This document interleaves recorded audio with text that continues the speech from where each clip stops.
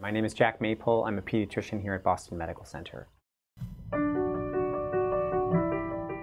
The 4C program stands for the Collaborative Consultative Care Coordination Program, and that is a program serving the sickest, most medically fragile kids and their families. In particular, we're trying to find the one percenters, the kids who are like sometimes de described as frequent flyers, kids with the most complex special and medical needs, kids who have chronic and complex illness that render them medically fragile and have problems accessing care.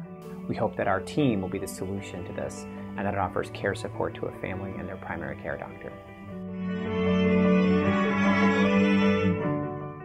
One of the most common ways of defining them is how they work or encounter the health system. Namely that they spend more time in the emergency room, more time in the hospital inpatient unit, more time out of school, and consequently their parents often time out of work, or they have higher costs of care, or they have more services in their lives. We really regard the parent and family in partnership with their primary care doctor as, as our primary target audience and client. So we work for them. We are not instead of primary care. We really serve the family and we serve the, the primary care doctor in tandem. And we, we hope to be a scalable entity that can really respond to the evolving needs and evolving goals of a, of a patient, a family, and their primary care provider.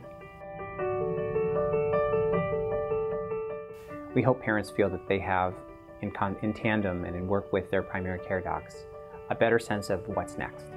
Oftentimes families walk into our doors feeling overwhelmed.